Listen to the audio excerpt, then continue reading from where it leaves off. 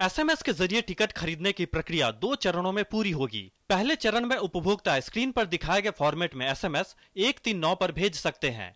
यात्री को boarding station व जिस शहर तक यात्रा करनी है उसका नाम, यात्रा की तारीख, क्लास, यात्री का नाम, उम्र और जेंडर की जानकारी मैसेज करनी होगी। इस तरीके से एक बार में अधिकतम छह लोगों का रेल आरक्षण किया जा सकता है। इसके बाद उपभोक्ता को आईआरसीटीसी से एक मैसेज प्राप्त होगा, जिसमें ट्रांजैक्शन आईडी, टिकट की राशि सर्विस चार्ज, कुल किराया, सीटों की उपलब्धता और यदि टिकट बुक कराना चाहते हैं तो पेमेंट के विकल्प प्राप्त होंगे। दूसरा चरण भुगतान प्रक्रिया से जुड़ा है।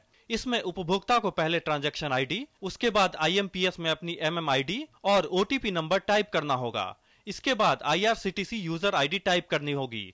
भुगतान को अधिकृत करने के लिए बैंक की ओर से मोबाइल मनी आइडेंटिफायर एमएमआईडी और आईआरसीटीसी की ओर से वन टाइम पासवर्ड भेजा जाएगा। इस मैसेज के जवाब में यात्री को एक कंफर्मेशन एसएमएस प्राप्त होगा। टिकट कंफर्म होने की स्थिति में यात्री को पीएनआर टिकट नंबर और टिकट के विवरण का मैसेज प्राप्त होगा। यात्री चाहे तो मोबाइल के ज़रिए ही अपनी टिकट रद्द भी करा सकते हैं।